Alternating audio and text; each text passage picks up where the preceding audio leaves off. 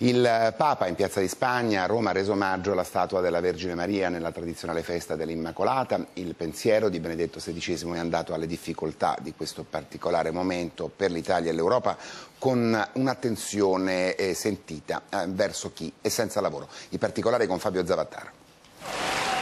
Guarda Maria, l'umanità chiede che accompagni il cammino di fede, incoraggi l'impegno di vita cristiana e dia sostegno alla speranza va a Piazza di Spagna, il Papa, tradizionale appuntamento all'Immacolata.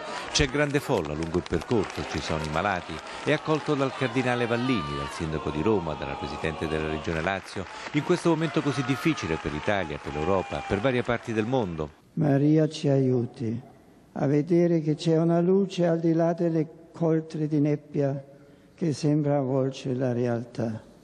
Maria è un inno alla vita, dice il Papa.